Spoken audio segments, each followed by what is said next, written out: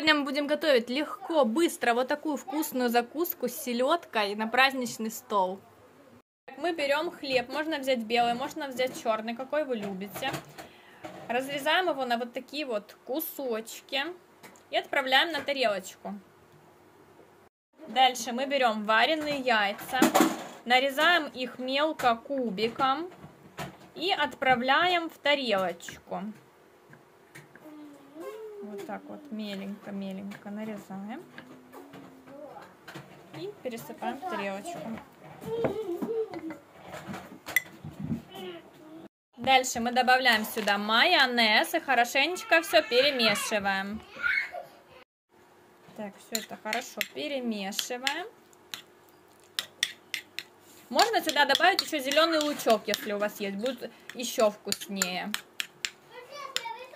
Дальше мы берем и каждую нашу греночку намазываем нашей яичко, яичной начинкой, вот этой вот. Аккуратненько, вот так вот хорошенечко намазываем каждую, каждую нашу греночку.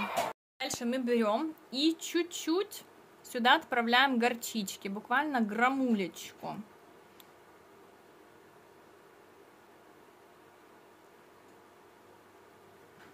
Можете, если вы не любите сильно острую, взять горчицу в зерна.